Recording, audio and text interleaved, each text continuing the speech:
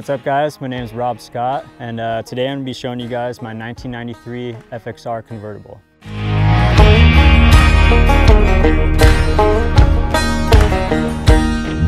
Picked this bike up eight months ago. Uh, I actually did a 30 hour round trip out to Colorado, picked it up from a retired fire captain who actually ridden this bike to Sturgis 15 times. First day I brought it home, tore it all apart, put the narrow glide front end because he had put a wide glide front end on there. When I first bought this bike, I actually had a broken collarbone, so I couldn't go to my normal T-bar height that I like. So I ended up going with the six and a half pullbacks from Thrashin Supply with the one inch extension and the high bend bars. It gave me to a high enough position that I was comfortable in, but didn't really hurt my shoulders. And then after the bars and risers, got this rad uh, two-up seat from Saddlemen. They did a full tuck and roll with the custom TC logo on there for me. Really gets me to a really nice, a little bit more forward and comfortable position. I've ran these seats on basically all of my bikes in the past, and uh, these are definitely my go-to. I did put on the Memphis Shades Rio Grande windshield in the dark smoke. Uh, we do a lot of longer, like overnighters, maybe a week-long travel, and uh, having that windshield for the wind coverage, not fighting the wind the whole day, uh, it's really a game changer. So and then on these longer rides, even like the daily rides, uh, I hate having stuff in my pockets, my phone, my wallet. Did end up doing the Thrashin Supply utility bag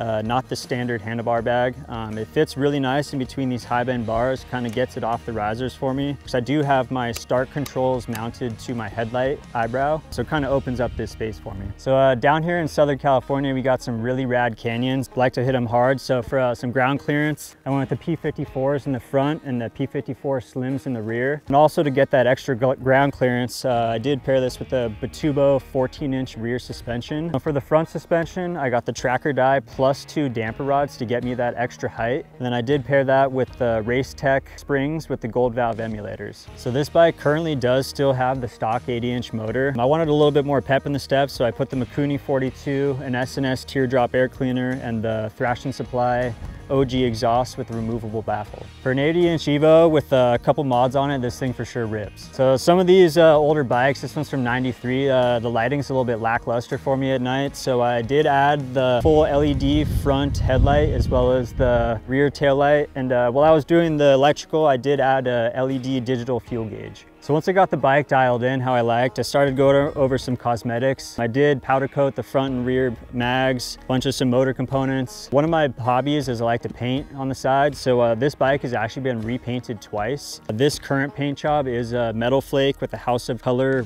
beer candy. This is one of my more intricate, more detailed paint jobs that I've done. I'm super proud of this one. This bike's definitely one of my favorites over the past. So I really enjoy picking these bikes up, Craigslist, Facebook Marketplace, OfferUp, changing the whole look, putting all the parts on there that I like, making it mine, and then uh, on to the next one. I usually sell them. This one might be for sale in the next couple months. Thanks guys for checking out my 1993 FXR convertible. Gotta get back to the shop. Peace.